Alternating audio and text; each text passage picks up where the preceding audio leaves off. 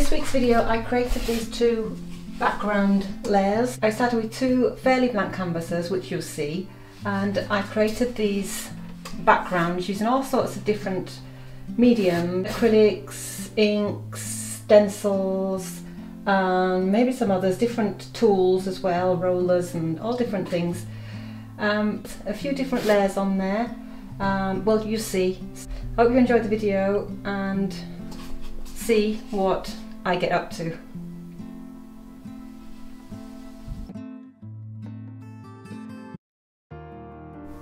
So here I'm starting covering up an old canvas with some gesso, not an old canvas, one that I started with a drawing and I decided I don't want any drawings on the canvas to influence me. I'm scratching in a little bit with a wooden stick here to get some marks down. And during this video I'm actually working on two different canvases, or here I'm changing for the other one. So hopefully it's not going to be too confusing for you. I'm swapping and switching, really enjoying and working on the two. Again on this one, covering up the imagery, you may remember this one from another video where I started this painting from a drawing and I've just, because I've been starting my, a few paintings like that, I've decided I want to go back to my original way of just diving into the canvas and making a big mess then trying to pull out some imagery afterwards. Here I've started going in with acrylic paint just filling the spaces, putting down marks. There I did some splashy marks with the paintbrush. So I started with some warm colours, now I'm going in with some cooler colours, getting a little bit of contrast.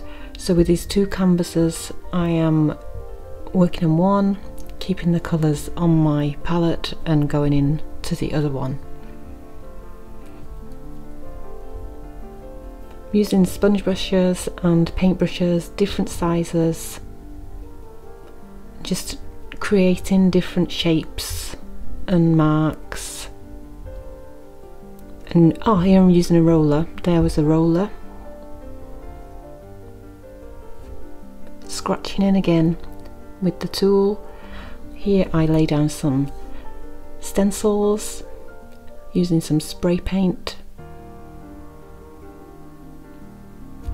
and you see the results from that.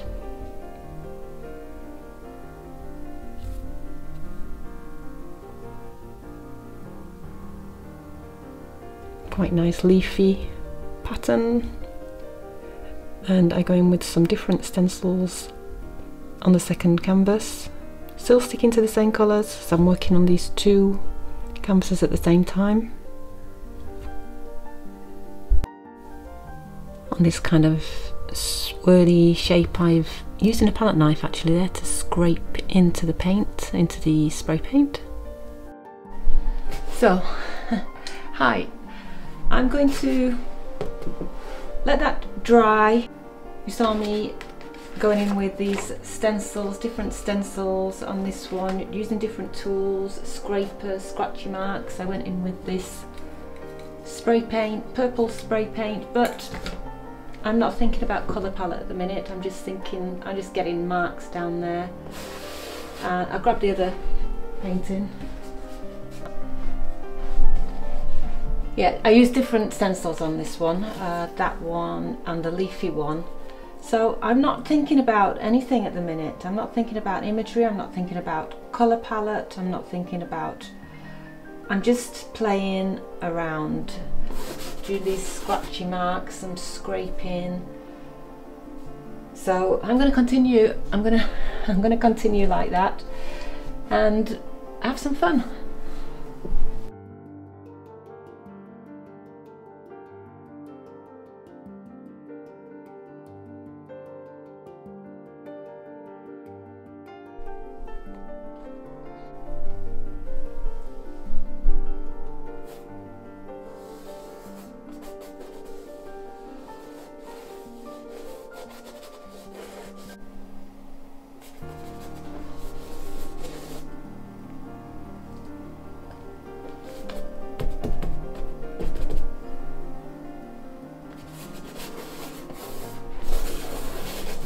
So I'm coming in with some white to break up some areas.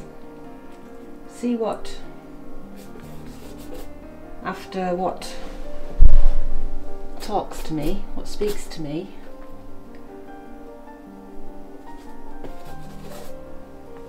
Not thinking about it.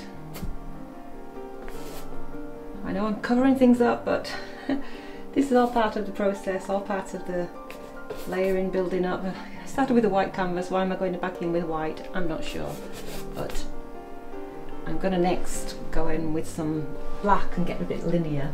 So swap canvases.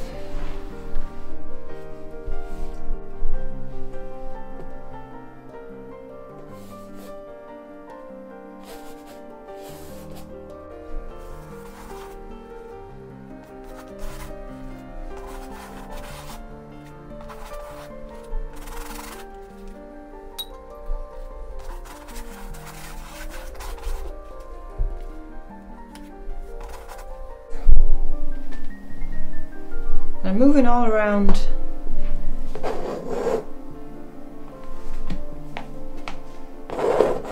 I, I really like turning my canvas when I'm up on the easel but see as it's on the floor here. I'm going to move around the canvas. I need to wet my canvas a bit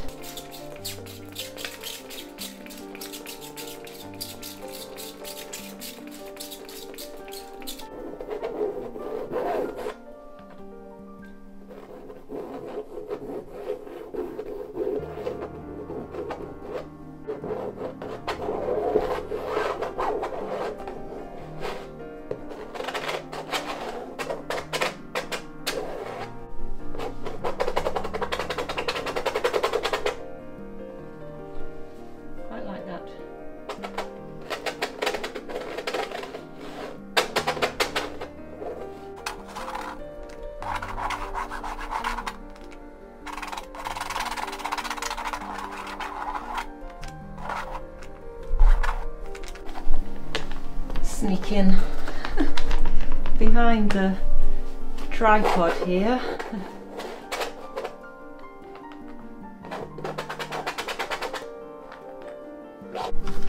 Try the other one. Got to do that with the. Try put the white down. I like it because it just makes the paint flow.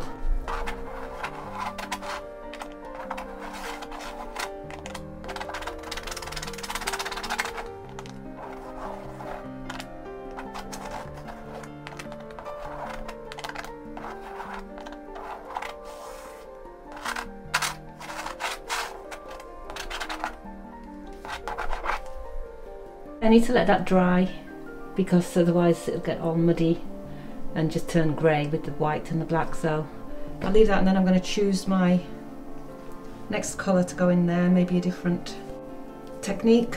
We'll see. So I've decided to come in with this colour one of my favourite colours that I often use in my paintings. This turquoise blue using this roller.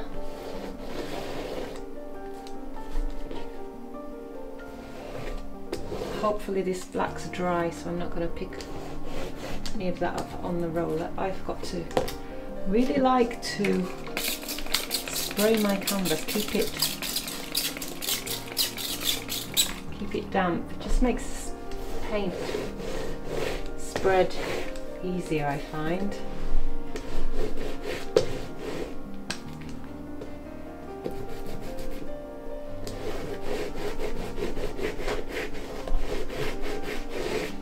And although I'm going over, you can still see things underneath.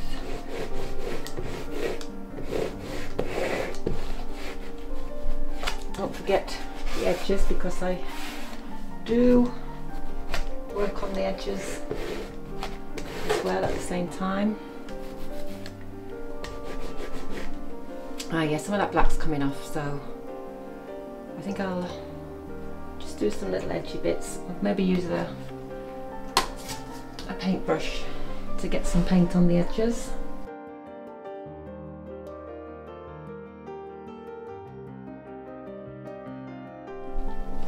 So as I got some black coming off onto this roller, I'm changing rollers. I'm going to use this one, it's a patterned one, see what that comes out like.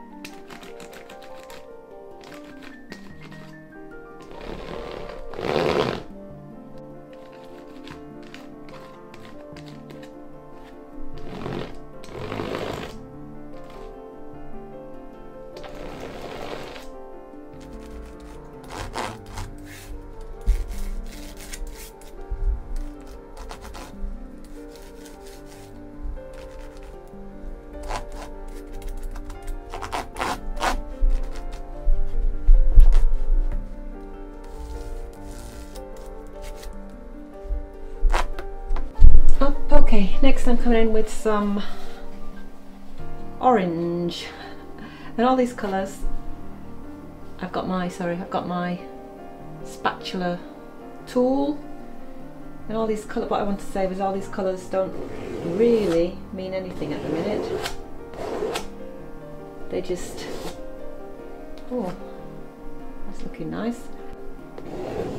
I'm getting them down.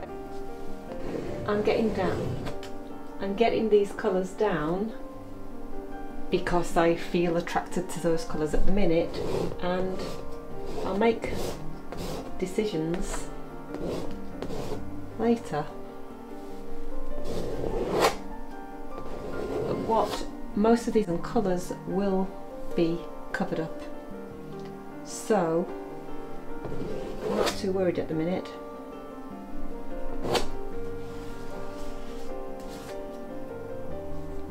Use the edge of this as well too.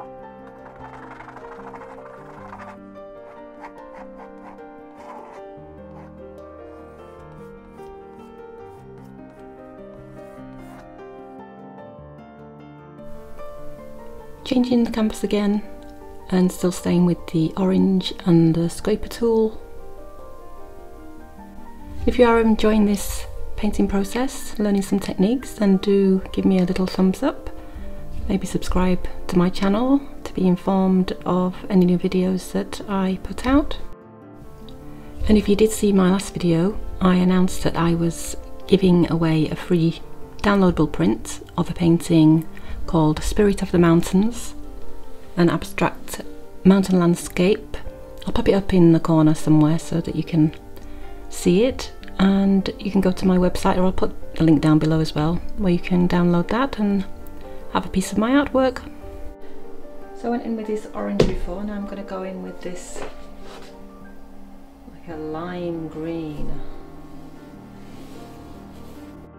So the original painting of the print that I was saying you can get for free was done in this process as well. There is a video of it on my channel and you see all these different techniques and processes and of course it'll be going right to the end to the finished result. Yeah, I'm really surprised at all the people who have been subscribing to my channel and I just wanted to say thank you by giving away this print and just to say as well that it's encouraging, it keeps me going, keeps me making these videos and well, yeah, a big thank you.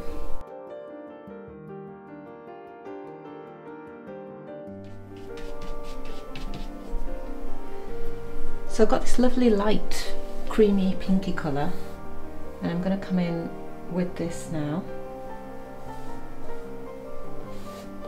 and fill in some bigger spaces.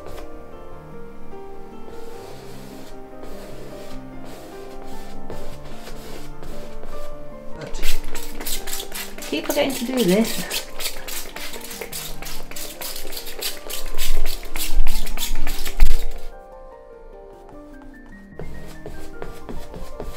Oh, I like this, it's quite transparent.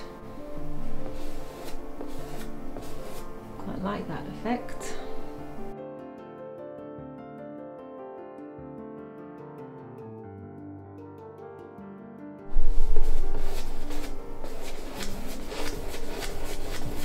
Still not sure what this is going to be but I fancy going a bit lighter hence the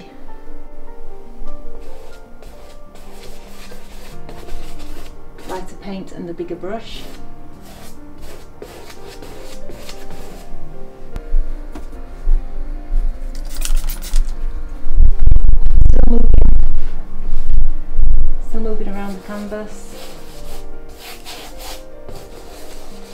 soon I'll move back up onto the easel up on the wall.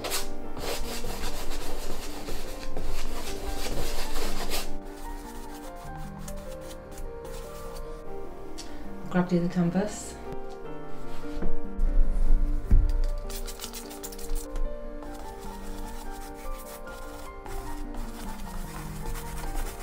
This was completely dry by the way.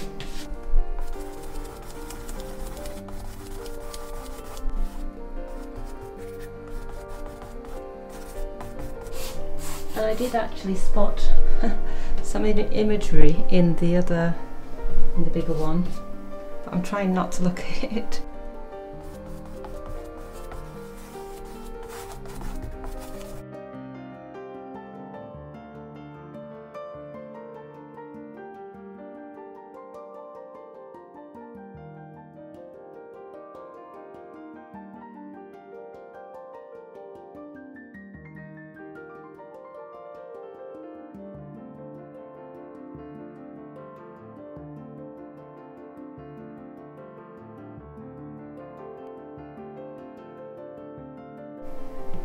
I'm doing some splashes here. Sure, I don't get it on the carpet.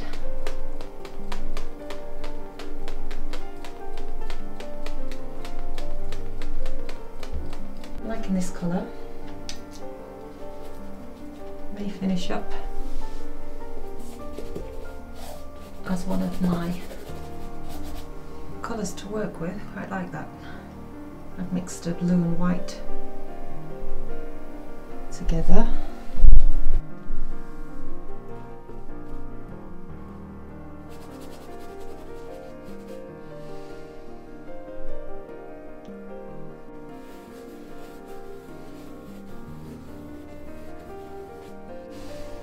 I think I've totally lost the imagery that I was talking about that I saw before.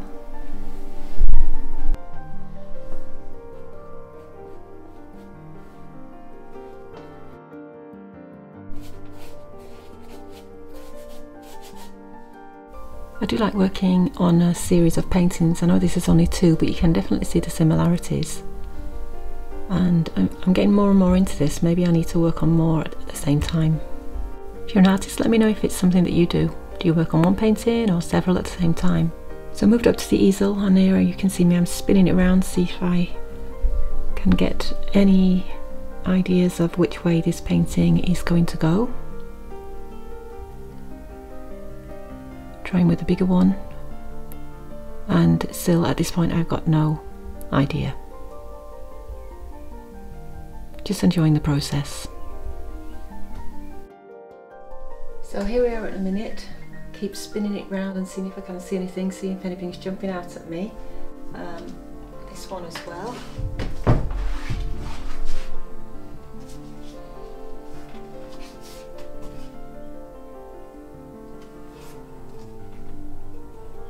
So I need to sit back and have a look, but anyway, I say that and then I'll just go over it again. So for now, still in the beginning stages and I'll be going back in with more playfulness.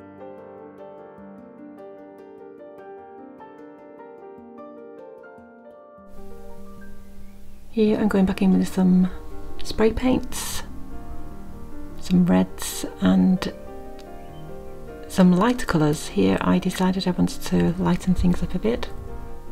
Going back in with the scrapey tool.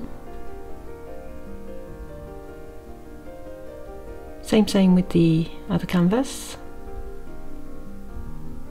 And oh, I'm going in with some lovely light blue spray paints, spraying water, getting some drip marks in there.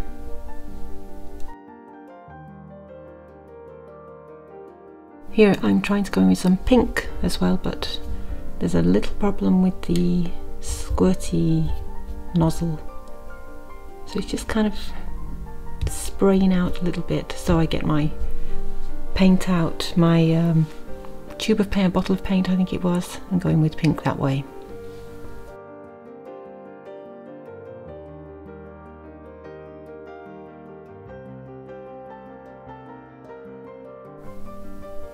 Creating some depth with this darker colour, this dark blue.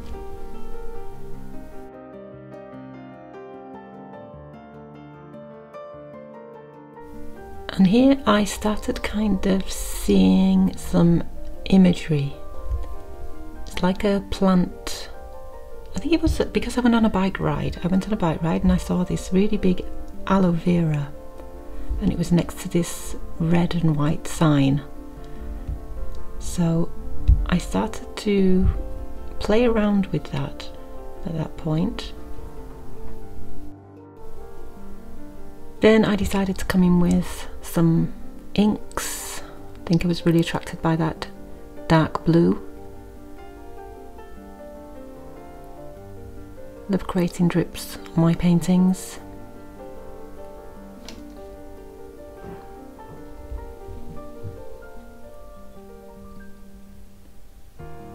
So I think that totally threw the plant imagery out of the window.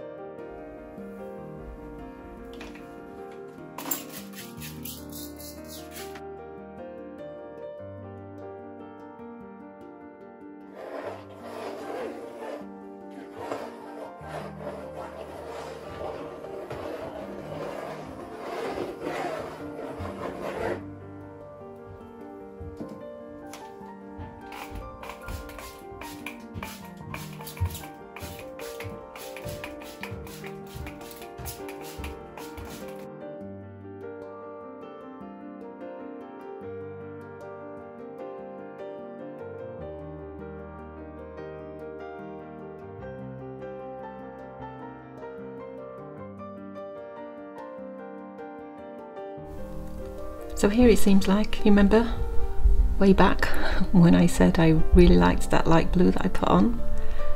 Well, here it is starting to come out.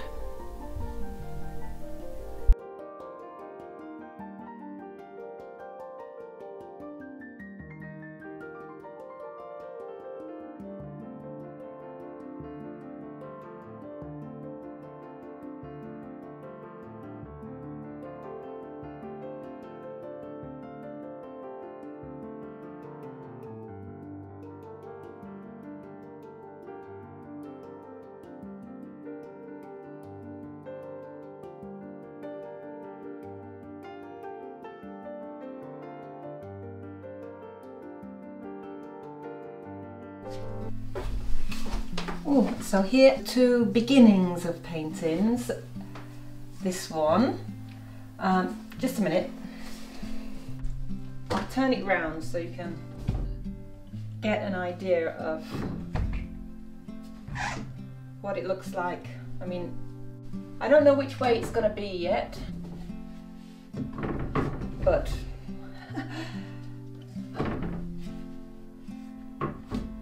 usual. I'm going to keep playing with that. Yeah, so this is the other one. Spin it round. This one, I